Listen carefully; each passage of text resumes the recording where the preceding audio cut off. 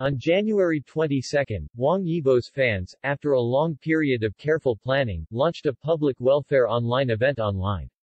There is one word different from the Spring Festival Gala, that is Leopard Evening. It is reported that this is an online Spring Festival Gala organized by the Wang Yibo Fan Support Association, which records every bit of Wang Yibo's journey last year.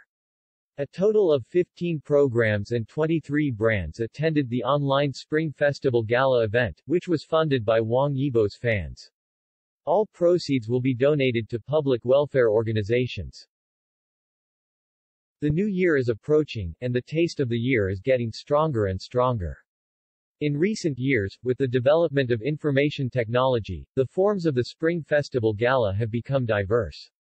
Not only the Internet Spring Festival Gala, but also the general public can hold their own Spring Festival Gala together.